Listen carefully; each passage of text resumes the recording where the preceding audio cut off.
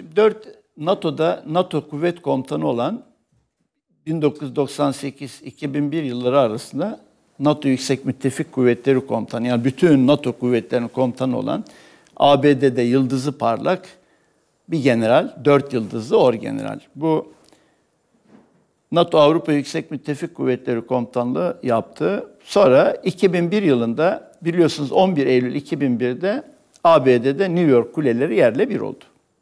Bundan 10 gün sonra Pentagon'a gidiyor. Ve Pentagon'a gidiyor. Ondan sonra orada emir alıyor. Fakat bu konuları, görüştüğü konuları 2007 yılında bu ABD'li orgeneral 2007'deki ABD başkanlık seçimlerinde iyi bir orgeneral olduğu için ABD toplumu tarafından seviliyor. ABD başkan aday adayı oluyor. 2007 seçimlerinde. Başkan adayı adayı olduğu zaman da televizyonlara çıkıyor. Emekli bir orgeneral. Televizyon soruyor. Afganistan, ABD'nin Afganistan politikasını, Irak politikası nasıl görüyorsunuz? O da aynen şöyle cevap veriyor. 11 Eylül saldırılarından yaklaşık 10 gün sonra Pentagon'a gittim. Savunma Bakanı ve yardımcısıyla görüştüm. Aşağı kata indim. Komutanlardan biri beni çağırdı. Biraz içeri girip benimle konuşmalısın dedi. Arkadaşım da o. Ben de çok meşgulsünüz dedim. Hayır hayır gel dedi. Ne yapıyorsunuz? Karar verdik Irak'a savaşa gireceğiz dedi. Tarih 20 Eylül 2001 gibiydi. Irak'la mı savaşa giriyoruz dedim. Neden dedim. Bilmiyorum sanırım başka ne yapacaklarını bilmiyorlar dedi. Yukarıyı gösterdi yani Savunma Bakanı Ramsel'di gösterdi. Peki Saddam ile El-Kaide arasında bir bağlantı buldunuz mu? diye sordum. Hayır hayır bu konuda hiçbir şey bulamadık. Sadece Irak'la savaşmaya karar verdiler. Sanırım kuvvetli bir orduya sahibiz ve Saddam'ı devirebiliriz. Sadece bu kadar biliyoruz.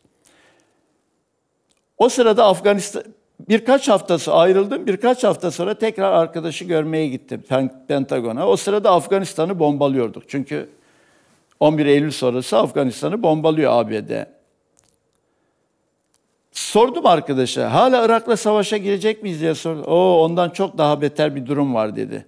Masasından çok gizli bir kağıt çıkardı ve Savunma Bakanı'nın ofisini kastederek bunu üst kattan şimdi aldık dedi. Bana uzattı. Ben de çok gizli bu almayayım dedim. Çünkü üniforma olmasına rağmen geleneklere uygun. Hayır hayır oku dedi. Aldım okudum. Son cümlesi şöyle kağıdın. Irak'tan başlayarak Suriye, Lübnan, Libya, Somali, Sudan ve son olarak İran'la bitireceğiz. 2001 30 Eylül.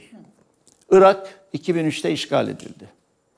Sudan, Somali, Lübnan çökmüş ülke. Kan gövdeyi götürüyor. Bölünmüş. Suriye ve Libya sözde Arap Baharı gerçekte kanlı sonbahar fırtınasıyla yerle bir oldu.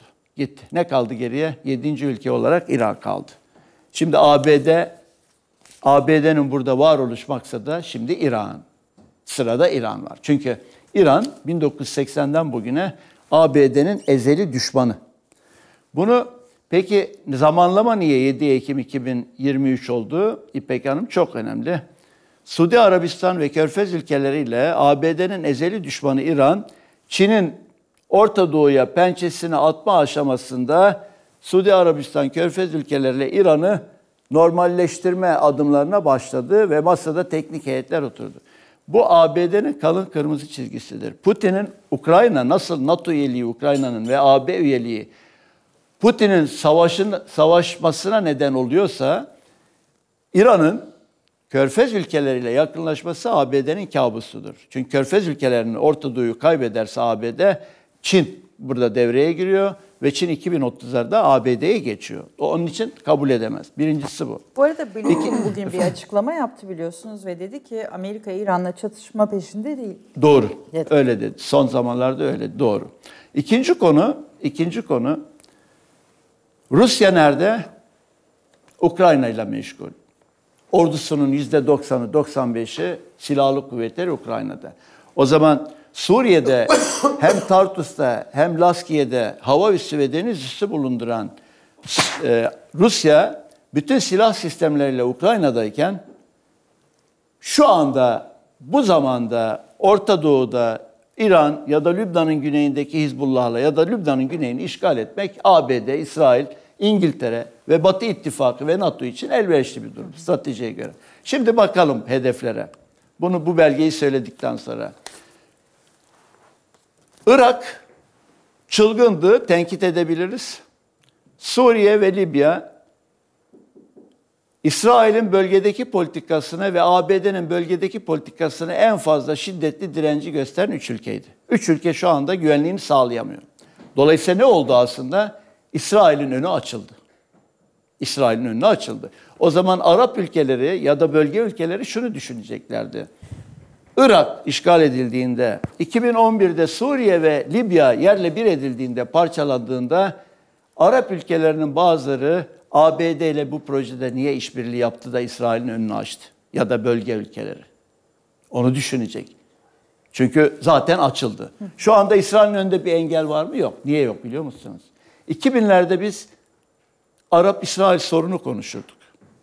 2005'lerde İsrail-Filistin soruna indirgendi. Şimdi ne konuşuyoruz?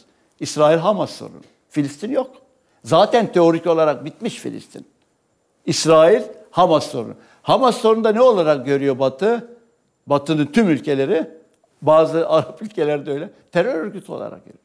O halde Batı, NATO ülkelerinin çoğu, Avrupa Birliği, ABD, İsrail, Hamas sorununda İsrail terör örgütüne karşı savaşıyor görüntüsü var. 7 Ekim 2023 06.30 ne verdi buna? ABD'nin bu projesine istediği işaret fişeğini aldı. Meşru zemine çekti, meşru müdafaa zeminine çekti ve meşru müdafaa zeminine çekerek şu anda katliam yapıyor. Evet. iki dakikada Evet. toparlayalım. Şimdi İsrail'in hedefi Gazze. Bu Gazze kırmızı maviye dönecek. Ama iki ay, ama üç ay, ama dört ay. Batı Şeria'nın yüzde ellisi altmışı kırmızı renk. Burada zaten şu anda 150 kadar ölü oldu Filistinlerden. Buradan mülklerinden ediyorlar Filistinlileri. Bunların yerine İsrailli İsrailliler yerleşiyor. Bu da gidecek. Asıl burası. Lübnan'ın güneyini işgal edecek İsrail. Burada Hizbullah var. Hizbullah olduğu için Hizbullah 12 kat daha güçlü 2006'dan. O zaman ABD, İngiltere buraya geldi. Hizbullah'tan öngörülmedik bir direnç ve öngörülmedik bir silah sistemiyle atış olursa ABD, İngiltere'nin buradaki savaş gemileri kolaylıkla burayı ateş altına alacak. Öngörülmeyen İran'dan bir roket gelirse, füze gelirse çünkü İran bazen şu açıklamayı da Gazze şeridine bir kara saldırısı olursa biz sessiz durmayız diyenler de var. Bir de İran'ın desteklediği gruplar var. Suriye'de, Irak'ta, Yemen'de. Onlarda var İran milisleri. Oradan gelirse İsrail arka cepheyle uğraşamayacağı için o zaman ABD, İngiltere ve Güney Kıbrıs Rum yönetimindeki üsler, burada üsleri var, uçakları var, denizleri var, özel kuvvetleri var. Bunlar müdahale edecek ve İsrail Gazze, Batı Şeria ve Lübnan'ın güneyiyle uğraşırken onlar da İsrail'e zarar vermeyecek şekilde diğer hedeflere etkisiz duruma getirecek. Ama burada ABD'nin İsrail'in bu hedefleriyle ABD fazla ilgilenmiyor. Çok taktik seviyede. ABD'nin asıl ilgilendiği hedef İran'dır. İran. Ve İran'ın 7. ülke olarak etkisiz duruma getirilmesidir. Ama kara harekatı olur mu? Hiç olmaz. Nasıl olur? Buradan etkili menzili var.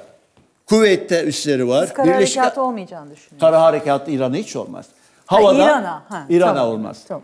Buraya olur kara harekat. Gazze'ye olur. Ama Gazze'ye ne zaman olur? Buradaki rehineler büyük bir bölüm emniyete alındıktan sonra, Sonra. ikincisi buradaki hedef kuzeyden iyice bu Filistinler güneye göç ettikten sonra ve burası emniyete alındıktan sonra başlar. Mutlaka olur. Çünkü bu rengi kırmızıyı maviye çevirecek. Mutlaka başlar. Ama İran'a kara harekatı olmaz. İran'a havadan ve denizden Kuveyt'te, Bahreyn'de e, ve oradaki bazı ülkelerde üsleri var. Mesela Katar'da Orta Doğu'nun en büyük ABD üssü orada 13 bin ABD askeri var. Peki.